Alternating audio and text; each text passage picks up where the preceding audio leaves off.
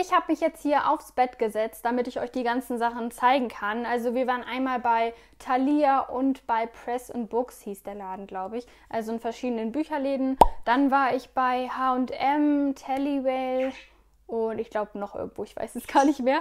Und dann waren wir noch in so einem Game Shop. Ich weiß gar nicht mehr, wie der hieß. GameStop oder so ähnlich. Ich bin mir nicht mehr sicher, aber ich zeige euch das jetzt alles mal. Nicht wundern, mein Freund ist im Hintergrund, weil ich ihn nicht aus dem Bett schmeißen möchte. Und ich würde sagen, wir fangen an mit Thalia. Die Preise werde ich euch einblenden, damit ich das nicht alles raussuchen muss.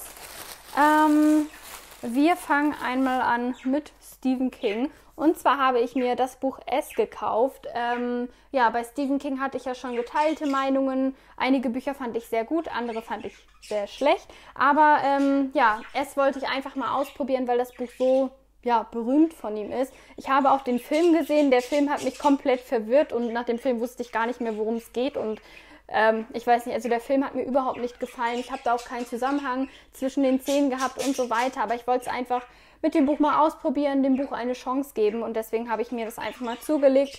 Es hat stolze 1700 Seiten und ist somit auch ja, das dickste Buch aus meinem Bücherregal. Ich bin sehr, sehr gespannt. Falls ihr es schon gelesen habt, schreibt mir unbedingt in die Kommentare, ob ihr das gut fandet oder nicht. Also ich bin auf jeden Fall gespannt. Ich werde damit aber erst im nächsten Jahr dann anfangen, das zu lesen, weil im Moment bin ich noch bei anderen Büchern, bei Weihnachtsbüchern und da passt es einfach noch nicht so ganz rein. Dann machen wir weiter mit dem nächsten Buch und zwar ist es Harry Potter. Ja, einige von euch werden jetzt vielleicht ein bisschen staunen. Ich habe noch nie ein Harry Potter Buch gelesen und auch die Filme habe ich noch nie wirklich angeschaut. Die haben mich einfach noch nie komplett oder wirklich angesprochen. Ich fand das einfach nicht wirklich interessant. Ich bin auch nicht so der Fantasy-Typ. Ähm, aber ich wollte die einfach mal ausprobieren. Jetzt ist ja Harry Potter auch 20 Jahre alt geworden und das ist jetzt hier so die neue ja, Auflage oder Ausgabe und die fand ich einfach mega schön. Also viel schöner als die anderen Harry Potter Bücher. Deswegen habe ich mir das einfach mal mitgenommen. Das hier ist jetzt das erste Buch. Ähm, Harry Potter und der Stein der Weisen. Ähm, also ich weiß auch schon grob, worum es geht, aber ähm, ja, ich kenne die Charaktere nicht wirklich und ich bin einfach mal gespannt, ob mir Harry Potter gefällt. Ich habe nur das erste gekauft. Wenn es mir gefällt, kaufe ich halt das nächste Buch. Ich wollte nicht alle auf einmal kaufen, weil die sind schon ziemlich teuer. Für dieses Buch habe ich jetzt 16,99 Euro bezahlt und ja, ich finde die halt echt schon teuer. Aber ich bin gespannt auf Harry Potter. Wir machen weiter mit dem dritten Buch und zwar ist es ebenfalls ein Buch von Stephen King. Ähm, hier steht jetzt drauf, Stephen King schreibt als Richard Bachmann. Das verstehe ich immer nicht so ganz. Vielleicht kann mir das mal jemand erklären, warum die sich dann irgendwie als jemand anders ausgeben oder als ein anderer Autor. Ich habe das nicht so ganz verstanden. Naja, auf jeden Fall ist das das Buch Menschenjagd. Da bin ich sehr gespannt. Da geht es um eine Reality-Show im Jahr 2025 und ähm, ja, der Gewinner, der halt übrig bleibt, kriegt einen gewissen Betrag ausgezahlt. Es gab aber noch nie jemanden, der dort überlebt hat und ja, wenn man jemand anderen umbringt, bekommt man wohl irgendwie noch einen Bonus. Ich finde das einfach sehr interessant. Sowas in der Art habe ich noch nie gelesen. Deswegen musste es mit und ja, ich bin einfach gespannt, wie das ist. Dann machen wir weiter mit dem nächsten Thriller. Ihr merkt schon, ich bin immer sehr Thriller- und Horror belastet. Das ist einfach so. Ähm, ja, dies hier ist das nächste Buch. Das ist geschrieben von ähm, Winkelmann ähm, House Sitter. Das war eigentlich nicht geplant. Also eigentlich war eher so Stephen King geplant, dass ich da einige kaufe. Aber dieses Buch habe ich dann dort gefunden und das musste ich einfach mitnehmen. Ähm, ich lese einfach nur mal kurz oben vor, was da steht. Er will dein Haus, er will deine Frau, er will dein Leben. Ähm, ja, mehr sage ich dazu jetzt einfach mal nicht, weil ich so viel gekauft habe, dass das Video einfach zu lang geht. Ähm, ja, wenn ich mal in einem extra Büchervideo darüber reden soll, wie ich die Bücher dann später fand, wenn ich die durchgelesen habe oder angelesen habe, schreibt mir das auch gerne mal in die Kommentare. Aber auf dieses Buch bin ich auch sehr, sehr gespannt. Aber eigentlich war es nicht geplant, das zu kaufen. Und jetzt kommen wir zum letzten Buch, was ich dann mitgenommen habe. Und zwar ist es ebenfalls von Stephen King. Ähm, und zwar nennt sich das Buch Sie oder im Englischen Misery. Da bin ich einfach sehr, sehr drauf gespannt. Und zwar soll das Buch so unglaublich gut sein. Ich habe schon sehr viele Rezensionen davon auf YouTube gesehen und ja, selber auch nachgelesen und das Buch soll so gut sein. Ich bin einfach gespannt, ähm, ja, wie das Buch ist, ob ich das gruselig finde, ob es ein Buch von Stephen King ist, was mir gefällt, da ich viele Bücher gelesen habe, die mir nicht zu gruselig waren, wo mir einfach zu wenig Geschichte war und zu wenig Horror. Deswegen bin ich hier gespannt, ähm, ja, wie mir das Buch gefällt. Und das waren die Bücher, die ich gekauft habe. Es war nicht geplant, dass ich so viele kaufe. Ich wollte eigentlich ein oder zwei von Stephen King holen, aber Naja, also ich habe auf jeden Fall ausgesorgt. Wir fangen jetzt an mit den Klamotten, die ich gekauft habe. Und zwar war ich da bei H&M und bei Tellywell und ja, ich weiß nicht, ob ich noch irgendwo war. Ich zeige euch das jetzt einfach. Wir fangen an mit ähm, dem Oberteil, was ich anhabe. Und zwar ist das von Tellywell und das ist ein ganz normales langärmliches Oberteil in rosa gehalten. Ich würde fast sagen altrosa. Und ähm, ja, das sind so komische Striemen. Es fühlt sich auch ein bisschen anders an, weil das so komisch eingedruckt ist. Ich weiß nicht genau, wie man das erklärt. Auf jeden Fall habe ich mich für dieses T-Shirt entschieden, einfach für den Winter ähm, und fürs Büro, weil im Büro ist es relativ warm und draußen ist es ziemlich kalt und im Büro ist es dann okay, wenn man einen Sweatshirt trägt, beziehungsweise was langärmliches und draußen ziehe ich dann wieder eine dicke Jacke über und dann passt das Ganze. Deswegen habe ich mich für dieses Oberteil entschieden. Das habe ich dann auch nochmal mitgenommen in Grau.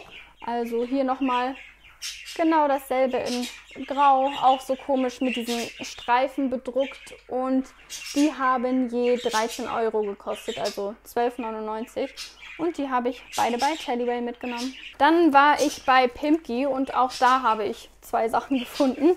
Ähm, auch das sind wieder Oberteile, also ich habe definitiv nach Oberteilen gesucht und ich habe sehr viele gefunden.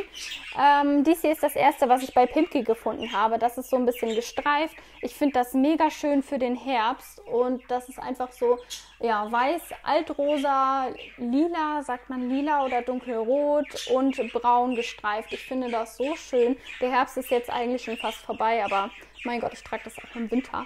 Alle Oberteile sind, glaube ich, in der Größe S vielleicht auch die Pullover in Größe M, aber ich trage immer S oder M für die Leute, die es interessiert. Und ähm, das Ganze hat auch 13 Euro gekostet. Ja, musste ich auf jeden Fall mitnehmen. Und was ich dann noch bei Pimki gefunden habe, ist so ein ähnliches Oberteil. Also im Moment habe ich es mit Streifen. Und zwar ist es dieses hier, auch wieder gestreift mit einfach so ein bisschen dunkleren Farbtönen. Hier ist jetzt schwarz mit drin. Ich muss sagen, dass ich das andere ein bisschen mehr mag, weil es einfach ein bisschen heller ist. Aber auch dies hier finde ich super schön, ist ja, genau dasselbe, nur in anderen Farben und hat ebenfalls 13 Euro gekostet.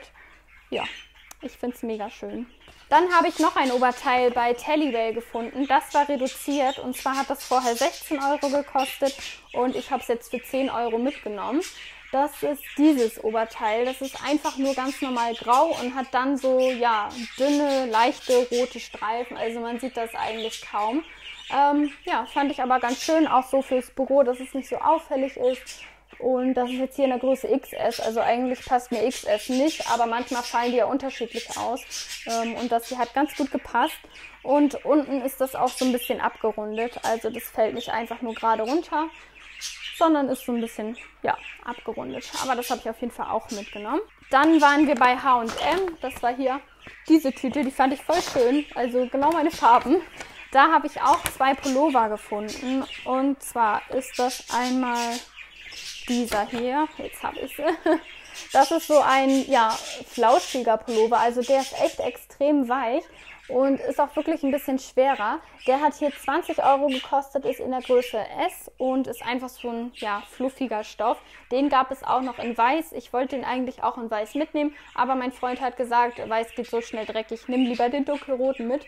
Deswegen habe ich mich halt hier für den roten entschieden. So einen hatte ich auch nie. Ich habe ein bisschen Angst, dass der beim Waschen kaputt geht, weil das so ein komischer, eher Flusenstoff ist und ich sowas vorher noch nie hatte. Und ich hoffe, das geht halt nicht kaputt. Aber der ist echt schön weich und gerade für den Winter finde ich das super schön. Der liegt auch sehr eng an und ja, ich finde es halt einfach bequem. Und hier haben wir dann noch den letzten Pullover, den ich bei H&M gekauft habe. Und zwar ist das, glaube ich, jetzt mein Lieblingspullover, denn der ist so unglaublich warm und so unglaublich weich. Der ist auch in so einem, ja, sagt man jetzt rot oder altrosa. Ich weiß es nicht, ihr seht die Farbe ja selber. Der hat 30 Euro gekostet, aber ich hatte noch so einen Geschenkgutschein und da waren 10 Euro drauf. Deswegen habe ich den so gesehen für 20 Euro gekauft. Das war auch der letzte Pullover von diesen hier, den ich bei H&M gesehen habe. Den habe ich so zufällig gefunden. Der hing da einfach so. Und ähm, ja, den habe ich auf jeden Fall mitgenommen. Der ist ziemlich schwer, noch schwerer als der Pullover, den ich euch eben gezeigt hatte. Ähm, aber auf jeden Fall sehr weich und ich glaube, das ist der beste Winterpullover, den ich bisher hatte. Ich finde den einfach voll schön und der hält auf jeden Fall warm. Den Pullover trage ich im Winter, definitiv. Wir kommen zu der letzten Tüte und zwar sind das so zusammengewürfelte Sachen. Einmal haben wir hier ein Shampoo gekauft bei Butni Für die Leute, die nicht wissen, was Butni ist, das habe ich ganz oft, wenn ich Sachen bei Butni kaufe. Ähm, das ist bei uns ein Drogeriemarkt. Ganz viele haben den bei sich nicht in der Nähe. Deswegen, Butni ist sowas wie DM, Rossmann, ja, einfach ein Drogeriemarkt. Und da habe ich hier dieses Shampoo gekauft und zwar von Schwarzkopf. Schaumer Sommerfrische Shampoo. Ähm, feuchte Frische für Sommerhaar. Ja, es ist kein Sommer, das weiß ich auch, aber das riecht einfach so gut und fruchtig. Und das war auch reduziert, deswegen haben wir es mitgenommen. Ich glaube, bei 1 Euro irgendwas lag das, wenn nicht sogar günstiger. Und ja, deswegen haben wir es einfach mal mitgenommen. Wir haben auch noch ein anderes mitgenommen, aber das steht schon in der Dusche. Das war sowas mit Mandelmilch. Ähm, ja, aber ich glaube, das ist nicht so wichtig. Und wir kommen jetzt zu guter Letzt zu meinen kleinen Schätzen. Einige von euch wissen das vielleicht schon, wenn ihr das Video über mein Bücherregal geschaut habt, beziehungsweise über meine Bücher, dann wisst ihr, dass ich Funko Pops sammle. Und ja, davon habe ich mir zwei gekauft. Das war in diesem GameStop, heißt das, glaube ich. Also irgendwie in so einem Gaming, ja, Geschäft. Da habe ich einmal diesen Funko Pop gekauft. Und zwar ist das hier der Grinch in dieser Weihnachtsedition. Wir wollen auch den neuen Film, uh, den Grinch schauen. Ähm, diese Neuverfilmung, das haben wir bisher aber noch nicht geschafft. Und dieser hier ist halt direkt aus der Neuverfilmung. Hier steht auch 2 für 22, deswegen wisst ihr auch, wie viel ich bezahlt habe. Ich habe auch zwei gekauft. Und ähm, das ist hier der Grinch in dieser Unterhose. Also er trägt halt nur eine weiße Unterhose und hat halt seinen Kaffee in der Hand und wirkt ziemlich genervt. Ich finde es einfach sehr witzig. Hier hinten ähm, sieht man auch immer, wer da noch so mit dabei ist. Und ja, ich finde es einfach süß und den stelle ich mir definitiv in mein Bücherregal. Das passt auch zur Weihnachtszeit, deswegen musste ich ihn einfach mitnehmen. Und ähm, der andere Funko Pop ist dieser hier geworden. Und zwar hatte ich euch auch in dem Bücherregal-Video gezeigt, falls es schon online ist. Dort hatte ich euch gezeigt, dass ich auch Vanellope gekauft habe. Und hier hatte ich jetzt halt Wreck-It Ralph gefunden. Und dann dachte ich mir, das passt sehr gut, da ich sie ja halt schon habe. Und dann habe ich ihn jetzt einfach dazu geholt. Ähm, das heißt, ich habe jetzt schon zwei aus dieser Serie. Das passt dann immer so ein bisschen besser zusammen, als wenn man von jedem Film oder jeder Serie nur einen hat. Ähm, das passt dann im Bücherregal nicht so zusammen. Aber ich habe mich auf jeden Fall für ihn hier entschieden. Er wirkt auch ein bisschen sehr groß. Ich glaube, das ist sogar dann mein größter Funko Pop. Dieser Funko Pop ist auch sehr schwer. Ich muss mal gucken. Ich glaube, es ist tatsächlich mein größter, obwohl der Hutmacher, der könnte noch ein Tick größer sein. Aber ich bin auf jeden Fall gespannt. Ich habe die Figur noch, noch nicht ausgepackt, wie ihr wahrscheinlich schon seht. Ähm, aber das werde ich auch tun. Also ich packe die immer aus, aus der Verpackung und stelle die dann immer in mein Bücherregal und Oh mein Gott, ich finde die so süß. Das war es auch schon mit meinem Vlog. Das war alles, was ich euch so zeigen wollte. Ich hoffe, euch hat der Vlog gefallen. Kurzes Update, die Butchis sind immer noch nicht an den Holzspielplatz rangegangen. Sonst hätte ich euch das gerne gezeigt, wie die da so ein bisschen ja, rumwühlen und suchen und spielen. Aber bisher sind die da nicht rangegangen. Die einzige, die gerade auf dem Käfig ist, ist Rachel und die sitzt immer noch hinter dieser Korkröhre. Alle anderen sind schon wieder drin. Ähm, ja, ich hätte euch das gern gezeigt, aber vielleicht zeige ich euch das einfach mal in einem anderen Vlog, wo sie dann da zugange sind. Ich würde sagen, bis zum nächsten Mal und